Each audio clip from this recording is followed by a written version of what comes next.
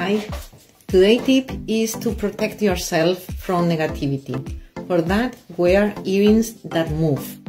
And this will connect you with movement all the time. All what is negativity? Negativity is anything that you hear that is pushing you backwards, that is not letting you go forward. It's not only a no. Sometimes can be something uh, that is just blocking you, paralyzing you. So the, the movement of the earrings is telling your body, move forward, find your yes, find your opportunity, find a way. It's, it's like never take a no for an answer. Uh, maybe this is not the way, but I will find my way.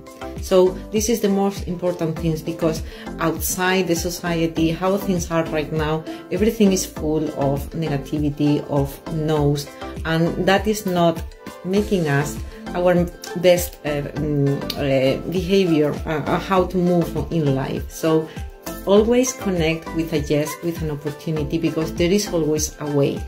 See you.